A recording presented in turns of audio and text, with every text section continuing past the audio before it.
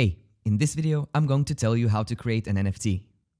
If you've been following my channel for a while, you probably know that I've already covered the topic of NFTs quite extensively.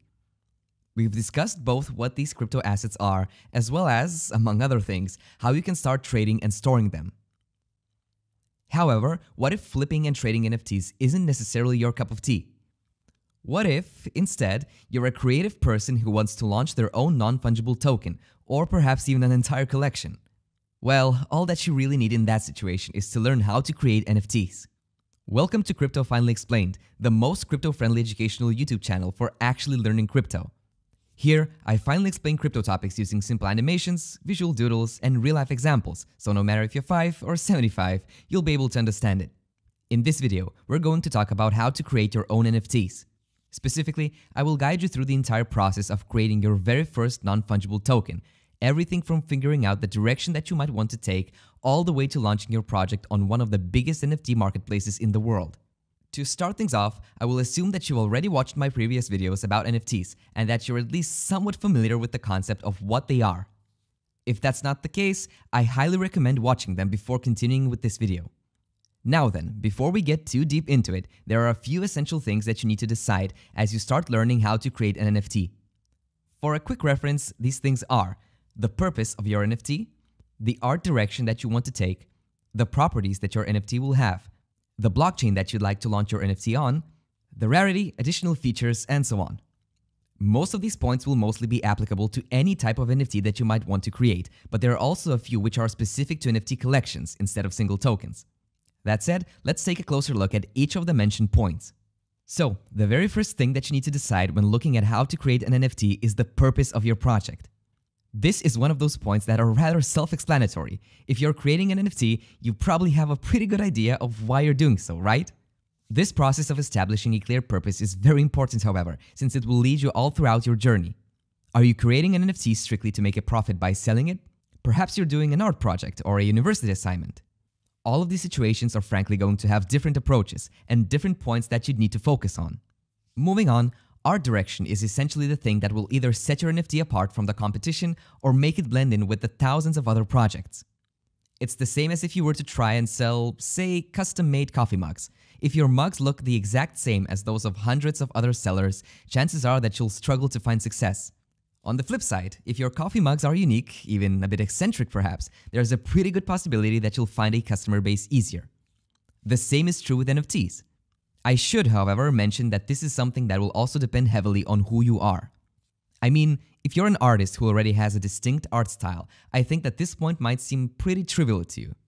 If you don't have any digital art skills though and will rely on others, for example freelancers, to create the artwork for you, keep everything that I've just told you in mind. Next up, we have the properties of the actual NFT.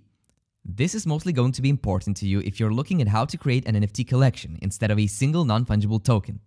Now, what are properties in the context of NFTs?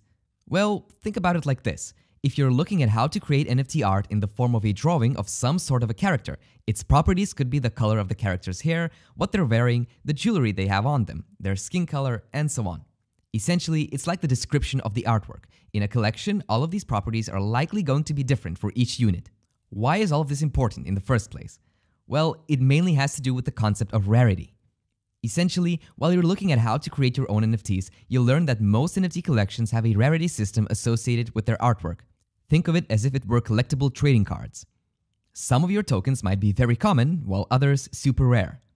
This will eventually dictate the price of each piece of art as well. Properties are a great way to differentiate between common and rare NFTs within that same collection. Are you enjoying the video thus far?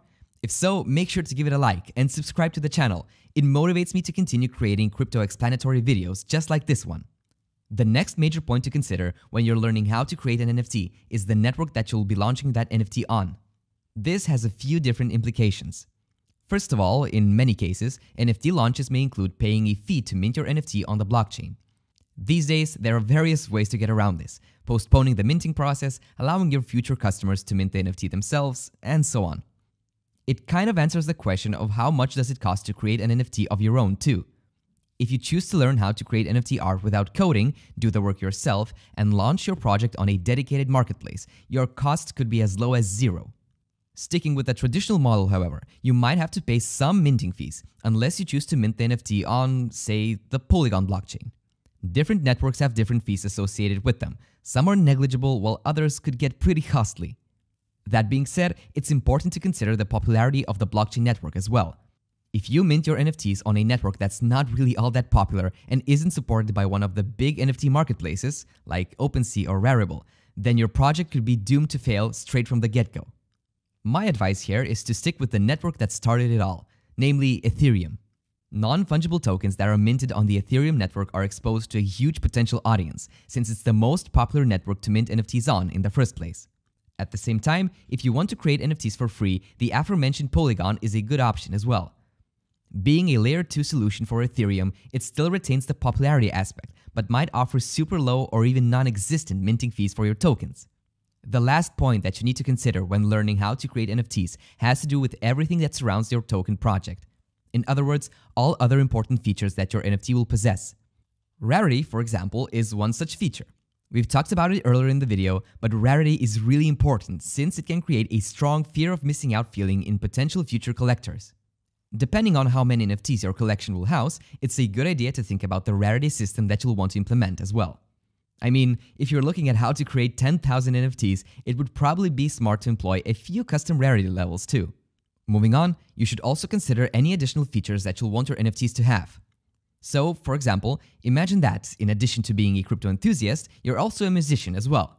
Perhaps you have a new mixtape that you'd like to share with the world.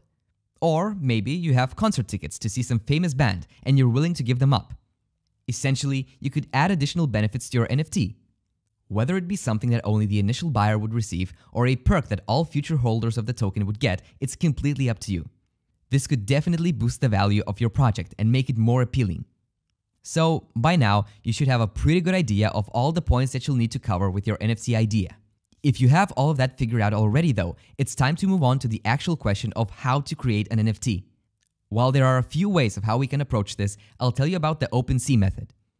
It's the most popular NFT marketplace on the planet, and learning how to create an NFT on OpenSea is super fast and simple.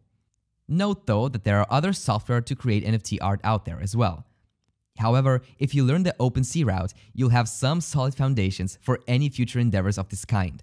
What you'll want to do first is navigate to the website and then connect your crypto wallet to it. If you don't have a wallet yet, or would like to learn more about crypto wallets in general, I have a few dedicated videos on the topic on my channel. Check them out. Once you have your wallet connected, you will then want to navigate to your profile and click Create. This will bring you to the page where all of your NFT creation magic will happen. This is where you'll want to upload your artwork, name your NFT, as well as describe it as best you can. On the same page, you will also be able to attach any and all properties or unlockable content that you might have come up with to your NFT, and then choose the blockchain network that you want your token to be minted on.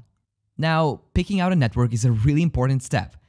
As we've talked about earlier in the video though, if this is your first NFT mint, it's probably a good idea to stick to Ethereum or Polygon. Once you create your NFT, you will then be able to navigate to the sales page and create a listing. Namely, choose the price of the token, whether it's a fixed sale or an auction, and so on.